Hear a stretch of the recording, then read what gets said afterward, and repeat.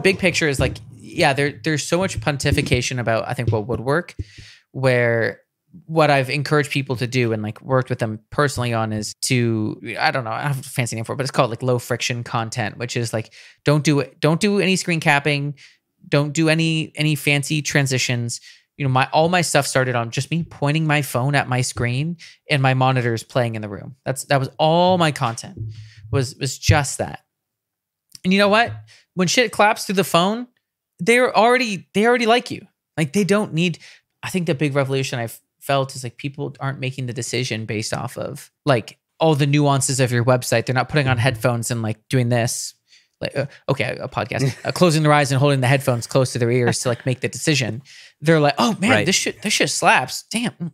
Oh yeah, that's that that sounds great. And then boom, personal brand's already been developed. Sounds fat, is stanky. He looks like a fun guy, and uh, he's friendly. Uh, In one post, like that's all you need to do. So I'm big into low friction content, which is yeah, literally been me doing a selfie video with the speakers behind. I'm a goober, so I dance around a little bit. You don't have to do that. Um, I've worked with guys where it's just them maybe playing the part on the keyboard. And then the part that people fuck up the most, which is probably the hardest to be honest, because nobody's a copywriter who's an audio engineer, is storytelling. And Yeah. it's by far been the most important thing that I've developed over time.